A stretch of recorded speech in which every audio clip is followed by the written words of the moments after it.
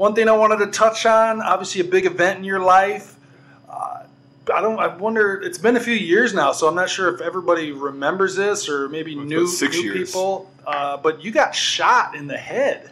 Yeah, yeah, yeah. What? Walk me through that day. Like, uh, from what I understand, uh, you were working out over at RFM. You got done Mhm. with your workout. You went to go put your bag in, and Yo, happened. what happened was um, I I walked out to the parking lot. Like with a gun, with a bullet. Like I'm talking about. That's what I'm talking about. Oh, No, but- after after. No, I oh, mean, okay. I just, I don't. That's such a shocking thing when I say shot. I mean, like uh, he was shot with a gun with a real bullet. So that's Oh, yeah, Go yeah. ahead. Go ahead. Um, so I walked to the car. Um, after I, the thing is, I took some pictures with some fans. This is about seven thirty, between seven and seven thirty p.m. at night.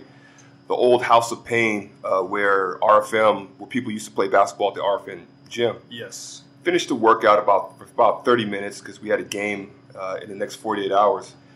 So yeah, I walk outside and um, you know I'm adjusting my bag right next to uh, my driver's side, outside of the car, and I'm uh, bent over, and then somebody walked up and boom, you know, out of nowhere. out of nowhere. I thought it was just, I thought somebody was playing a joke. To be honest with you, I thought it was a bad joke. Um, and uh, you know when you, you played Call of Duty, right? Yeah. When a grenade blows up right next to you, it's things are ringing, right? Yes. and you're just kind of seeing double vision a little bit. You can't really focus. I thought that was just for like make believe, you know, just for effects. That's real, you know. Okay.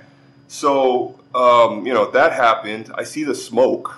Um, I it was November, Okay. November seventh, I think. So I think I thought that it was one of those kids throwing firecrackers because it was near the holidays, but that wasn't the case. But he shot me in the back of the neck which ended up to be a lower brain injury later on. Wow. So yeah, yeah, Uh, so like, what? Ha- I mean, what happened after?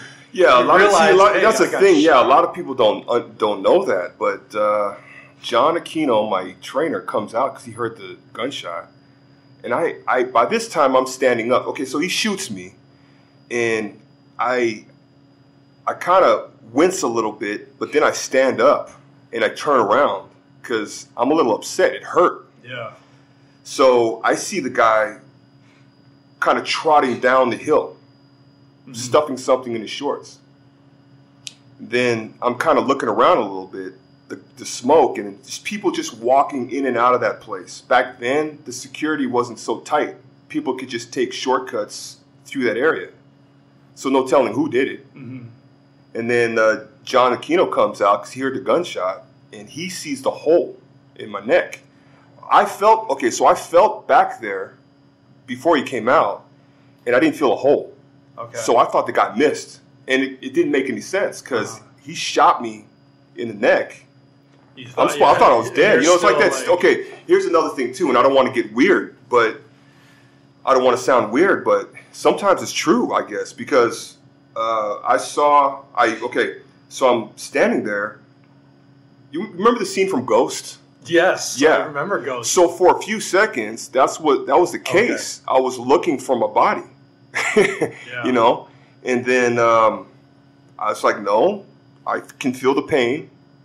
I'm still here, and I'm still, you know, I can still function properly. So that that kind of freaked me out a little bit. John snapped me out of it. He goes, "I need the keys to your car." We he gets into my car. I get into my car. He like a speed demon. He's driving in and out of traffic. Gets to um, uh, uh, Medical City.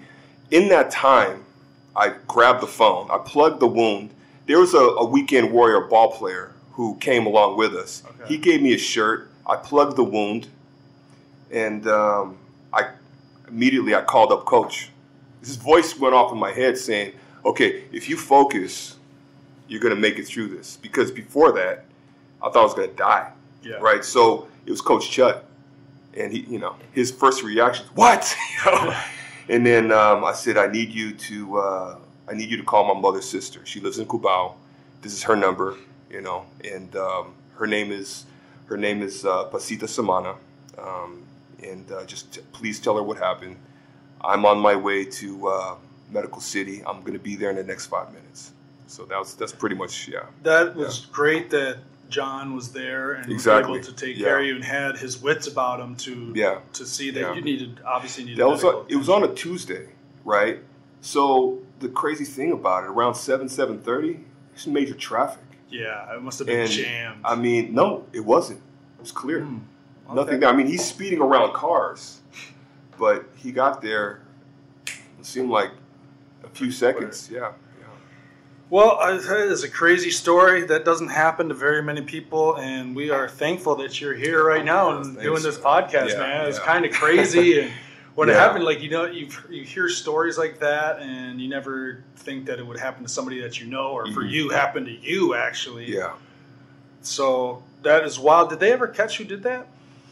Um, I'm not supposed to get into that, Okay. you know, because that's um that's something that the company knows, you know. Okay. So yeah, sorry Well, about that. No, that's Yeah. that's fine. I wasn't sure what the situation was. I know you were walking around with security guards. I did for two uh, years. for- two yeah, years. for yeah. a long yeah. time. Twenty four seven. That must have been scary. Like, were you were you always kind of like looking over your shoulder there for I a still, while? I still do, still Okay. do. You know, even walking through here to your to your place here, just kind of, you know, the bodyguards told me that. You know, always be aware uh, when you when you uh, get into when you're about to walk out to a parking lot.